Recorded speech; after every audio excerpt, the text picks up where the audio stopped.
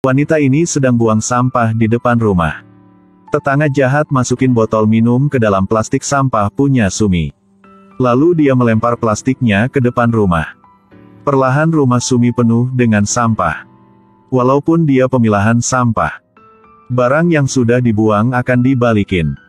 Sumi menderita depresi dan kecemasan. Dia merasa diri sendiri belum kerjanya keras ketika pemilahan sampah. Tapi anak dia Seiji merasa tidak segampang itu. Pagi dia melihat sampah sudah dipemlihan dengan baik. Kenapa ada satu botol kaca di dalam? Melihat ibu saat ini, Seiji memutuskan untuk selidiki ini. Hari kedua dia sendiri yang bawa sampah keluar. Jika sampah masih dibalikin, pasti bukan ibu dia yang salah. Tapi ada orang jahat sama keluarga dia. Seiji kerja capek sepanjang hari. Ketika pulang dia melihat sampah dibalikin ke rumah. Dengan plastik dia sendiri yang beresin. Tiba-tiba ada satu botol bumbu. Seiji melihat pasti ada yang aneh di belakang ini. Pasti ada orang jahat sama ibu dia. Seiji beresin sampah lalu buang keluar.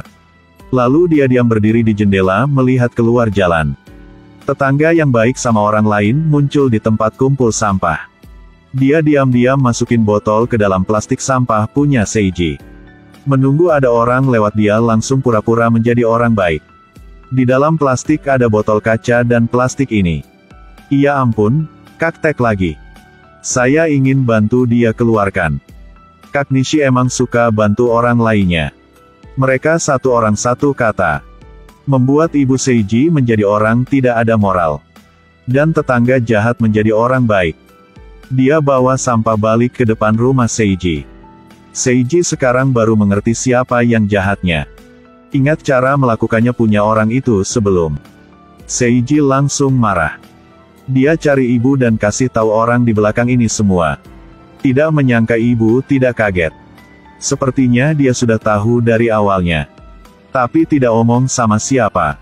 Hanya dia menerima semua itu. Ibu merasa diri sendiri belum cukup baik. Membuat orang lain benci dia. Dia terus minta maaf berkali-kali. Seiji melihat itu sangat sedih. Dia hanya bisa bicara dengan Ayako. Lalu pikir cara sama kakak. Ayako pikir. Sepuluh tahun yang lalu ibu sudah sering dibully oleh tetangga. Perumahan ini ingin minta uang kontrol. Tetangga tidak kasih tahu ibu. Lingkungan memiliki orang mati membutuhkan orang untuk pergi ke peringatan. Tetangga juga tidak menelepon ibu. Dibully dengan waktu yang panjang seperti itu membuat ibu menjadi stres. Dokter punya ibu juga kasih tahu mereka. Pindah tempat tinggal untuk ibu. Menghadapi seorang ibu rumah tanggal. Situasi di sekitarnya adalah dunia dia. Ingin lolos dari tetangga yang jahat. Hanya bisa pindah rumah ke tempat lain. Kedua orang mencari ayah dan kasih tahu dia. Tapi ayah tidak mau pindah rumah. Rumah mereka dikasih oleh perusahaan ayah. Tiap bulan mereka hanya bayar 8.7 juta uang sewa rumah udah cukup. Jika pindah ke tempat lain, hanya uang sewa rumah sudah lebih dari 24 jet. Walaupun Seichi adalah manager perusahaan, tapi dia tidak mau buang banyak duit untuk sewa rumah. Dia merasa hanya orang yang tidak kerja apa baru menjadi stres. Sumi karena terlalu nyantai makanya jadi banyak pikiran. Seiji dan Ayako mencoba untuk jelasin kepada ayah. Tapi Seichi tidak mengerti. Dia tidak mau pindah rumah. Karena dia diam-diam. Kasih uang buat wanita lain. Yang ini buat kamu. Istri stres. Tapi suami di luar kasih uang buat orang lain. Beli yang kamu suka. Sepatu, pakaian. Walaupun tidak bisa beli barang mahal. Makasih sayang. Dia tidak mau kasih uang buat istri. Dia juga tidak peduli dengan penyakit istri dia. Misi rawat Sumi. Tergantung kepada anak, Seiji. Walaupun Seiji harus lembur. Ayah juga tidak mau buang waktu buat pulang ke rumah temanin ibu. Karena dia harus ambil uang dan berjalan main sama wanita lain. Penyakit ibu sekamin parah. Tapi suami tidak peduli sedikit pun. Untungnya Seiji sudah dewasa. Walaupun pekerjaan sangat keras dia capek, tapi dia tetap berjuang. Seiji satu bulan sudah mendapatkan 34 juta. Hubungan mereka dan Manami juga bagus. Mimpi Manami adalah bangunkan jembatan. Dia tanya Seiji ingin melakukan apa. Seiji jawab tidak tahu. Mimpi hanya saat waktu kecil sa. Sekarang sudah gede dia hanya pikir bagaimana cara untuk bertahan hidup.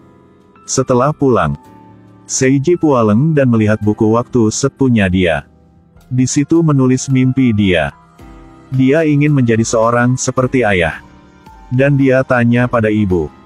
Sumi bilang mimpi dia adalah semua orang dalam keluarga ini sehat, dan aman. Seiji merasa diri sendiri punya banyak hutang dengan ibu. Dari dulu ibu selalu menjaga mereka. Sekarang sudah waktu untuk dia balasin semua buat ibu. Kita pindah rumahnya. Walaupun tidak bisa langsung pindah tapi akan ada suatu hari. Seichi sangat tidak senang dengan omongan Seiji. Dia mengancam Seiji.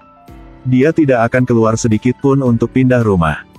Seiji capek harus melihat muka ayah. Dia langsung bilang dia akan kumpulin duit untuk pindah rumah. Melalui satu malam dia sudah menemukan mimpi dia. Beli rumah baru untuk ibu. Untuk ibu tidak usah bertemu dengan tetangga yang jahat. Seiji kerja keras. Dia menulis target dalam hidup ini di dalam kamar. Ada adalah tujuan yang dia harus mencapai. Ketika melihat Seichi menulis mimpi dia, langsung omong dia masih bocah jangan suka aneh-aneh. Karyawan tetap puluhan tahun seperti ayah juga belum bisa beli rumah.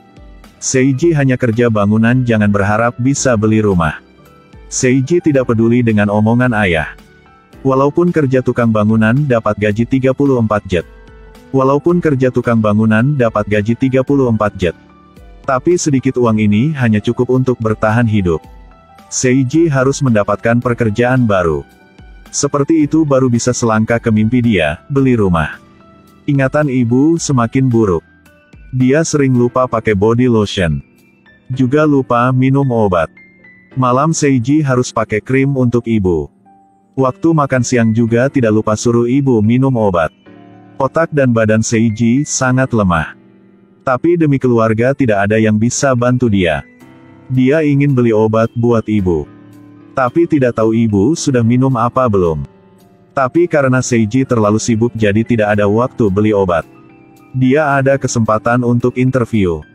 Sedihnya dia sibuk sampai demam. Baru ke perusahaan sudah pingsan. Agen hanya bisa bantu cari perusahaan lain untuk dia. Waktu menunggu, Seiji mencari anak tetangga. Dan dari situ, dia sudah tanya alasan kenapa ibu dia dibully. Dia pulang dan kasih tahu kebenaran ke ayah dan kakak. Bangunan ini awalnya adalah rumah komersial. Ada banyak orang pinjam uang untuk beli rumah. Tapi cicilan gede membuat mereka lelah. Tapi keluarga Seiji demi hubungan dengan perusahaan ayah. Tiap bulan hanya bayar 8.7 jet. Membuat semua tetangga tidak suka dengan keluarga dia. Meskipun mereka hidup tidak baik. Jadi tidak ingin orang lain hidup lebih enak daripadanya. Harus mengatakan bahwa ayah 10 tahun yang lalu mabuk. Sudah cerita masalah rumah mereka. Membuat ibu disiksa sama tetangga. Seiji sudah ungkapkan alasannya. Tapi ayah masih merasa ini adalah masalah punya ibu. Dia berpikir Sumi tidak baik dalam hubungan dengan tetangga. Makanya dibully sama mereka.